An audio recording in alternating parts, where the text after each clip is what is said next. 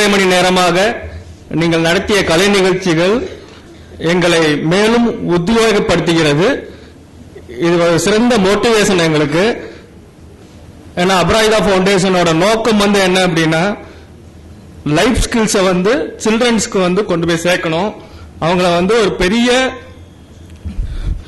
எல்லாத்திற்கும் திறனாளிகளாக knowledge மட்டும் எடுத்துக்கணும்னு இல்லாமல் இந்த லைஃப் ஸ்கில்ஸும் அவங்க வந்து கண்டிப்பா கத்துக்கணும்ன்ற ஒரு நோக்கத்துடன் இதை நாங்க ஆரம்பிச்சோம். இதற்காக எங்களுடைய உழைப்புகள் அதிகமாக இருக்கின்றது. அந்த உழைப்புகள் வந்து வீண் போகவில்லை என்பதை மிக தெல்ல தெளிவாக எங்களுக்கு எடுத்துக்காட்டியதற்கு மாணவர்கள் அனைவருக்கும் ஆசிரியர்களுக்கும் மிக மிக நன்றியை தெரிவித்துக் கொள்கிறேன்.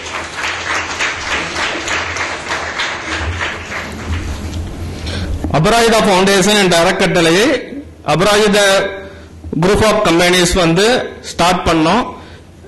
எங்களோட கைடிங் பிரின்சிபல் வந்து என்ன அப்படின்னா you give a man a fish you feed him once teach him fishing you feed him for a life time அப்படின்னா என்னன்னா உங்களுக்கு நாங்க மீன் கொடுத்தோம் அப்படின்னா உங்களால ஒரு வேளை மட்டும்தான் சாப்பிட முடியும்.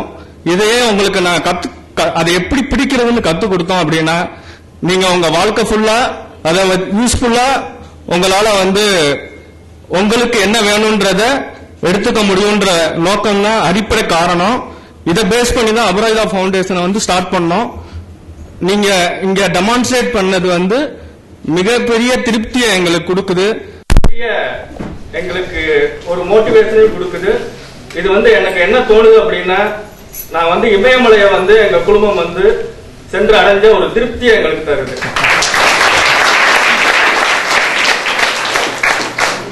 நாலேஜ் அண்ட் ஆட்டிடியூட் வந்து ஒரு காயினோட ரெண்டு பக்கம்.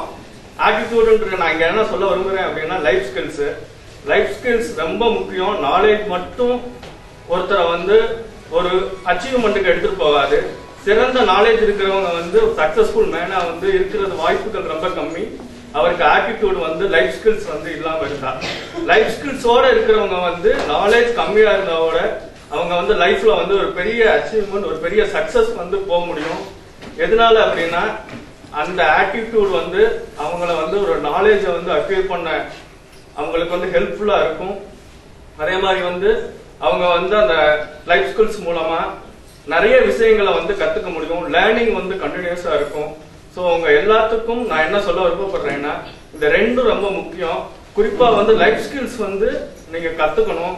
அதுதான் வந்து உங்களை வந்து நீங்க படிக்கிறது வந்து எதுக்காக அப்படின்னா ஒரு ஒரு ஸ்டேஜுக்கு அப்புறம் நீங்க வந்து கண்டிப்பா வந்து ஒரு வேலையை தேடி போகணும்.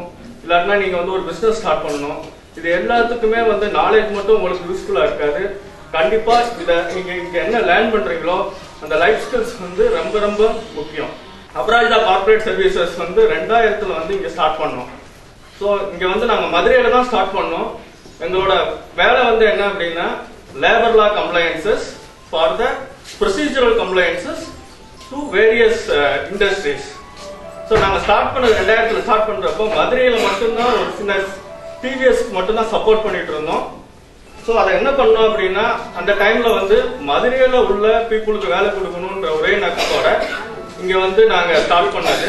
ஏன்னா எங்களோட ஒரு குறிப்பிட்ட காலத்துக்கு அப்புறம் வந்து எங்களுடைய இந்த பர்டிகுலர் பிஸ்னஸ் வந்து நீடு வந்து அக்ராஸ் ஆல் இந்தியா தேவைப்பட்டதுனால எல்லா ஊருக்கும் நாங்க வந்து மூவ் ஆனோம்.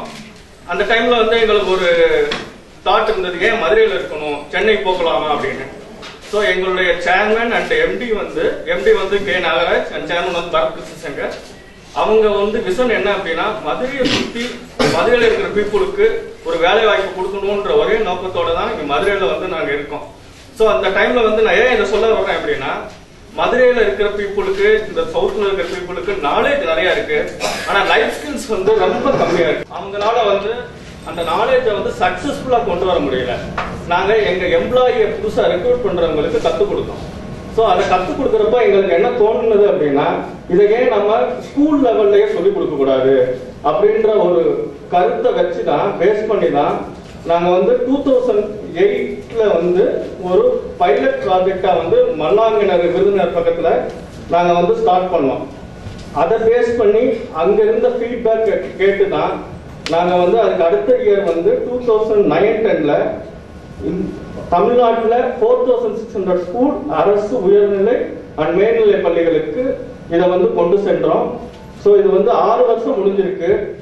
இதை பேஸ் பண்ணி இந்த சிக்ஸ் இயர்ஸ்ல நாங்கள் நிறைய ஸ்டூடெண்ட்ஸை வந்து லைஃப் ஸ்கில்ஸ்க்கு டெவலப் பண்ணியிருக்கோம். ஸோ அது வந்து சக்ஸஸ்ஃபுல்லாக ரீச் ஆயிருக்கு. எவ்ரி இயர் வந்து நாங்கள் இந்த ப்ரோக்ராம் பார்க்குறப்போ அந்த சக்ஸஸ் வந்து எங்களுக்கு வந்து ரொம்ப திருப்தியை கொடுக்குது. அதே மாதிரி லெவன் டுவெல்ல வந்து நாங்கள் என்ன பண்ணோம் அப்படின்னா பிரைமரி ஸ்கூலுக்கும் அதை எக்ஸ்டெண்ட் பண்ணோம். வாடிப்பட்டி பக்கத்தில் இருக்கிற செவன்டி ஸ்கூலுக்கு வந்து அதை எக்ஸ்டெண்ட் பண்ணியிருக்கோம். இன்னும் சக்ஸஸ்ஃபுல்லாக வந்து அதை பண்ணிட்டு இருக்காங்க. அதே மாதிரி நீங்கள் நீங்க இப்போ இந்த காணொலி காட்சியில பார்த்துருப்பீங்க குஜராத்ல வந்து டூ தௌசண்ட் டுவெல் தேர்ட்டீன்ல இதே மாதிரி நமக்கு இங்க என்ன பண்றோமோ அதே தான் நாங்க அங்க எக்ஸ்டெண்ட் பண்ணியிருக்கோம். இங்க நான் என்ன சொல்ல விரும்பப்படுறேன் அப்படின்னா அபராஜா கார்பரேட் சர்வீசஸ் எங்க குழுமம் வந்து அக்ராஸ் ஆல் ஸ்டேட்ல பண்றப்போ மதுரையில நாங்க என்ன ஃபேஸ் பண்ணோமோ அதே தான் வந்து அதர் ஸ்டேட்லையும் ரெக்ரூட் பண்றப்போ நாங்க ஃபேஸ் பண்ணது. ஏன்னா அவங்களுக்கு வந்து நாலேஜ் இருக்கு. ஆனா அதோட அவங்களோட அந்த லைஃப் ஸ்கில்ஸை வந்து பெஞ்ச் பண்ண முடியல அவங்களுக்கு தெரியல டிசிஷன் எடுக்க தெரியல. அவங்க வந்து ஒர்க் பண்றதுக்கு வந்து தகுதி இல்லாத ஆளுங்களா இருந்தாங்க. ஸோ அவங்களுக்கு நாங்க இங்க என்ன ப்ராக்டிஸ் பண்ணோமோ தமிழ்நாட்டில் அதை அப்படியே அவங்க லாங்குவேஜ்ல வந்து டிரான்ஸ்லேட் பண்ணோம். ஸோ அதை எப்படி வந்து ரெக்ரூட் பண்ணி எம்ப்ளாயிக்கு நாங்கள் பண்ணோமோ அதை தான் அப்படியே எக்ஸ்டெண்ட் பண்ணியிருக்கோம் ஸ்டூடெண்ட்ஸ்க்கு அங்கே டுவெல் தேர்ட்டீன்ல குஜராத்ல பண்ணோம். ஃபோர்டீன் ஃபிஃப்டீன்ல ராஜஸ்தான்ல பண்ணியிருக்கோம். ஸோ இனி நெக்ஸ்ட் இயர்ஸ்ல இந்தியா இருக்கிற எல்லா ஸ்டேட்டுக்கும் நாங்கள் வந்து விரிவுபடுத்துவோம்ன்றத உங்ககிட்ட நான் தெரியப்படுத்த விரும்பப்படுறேன்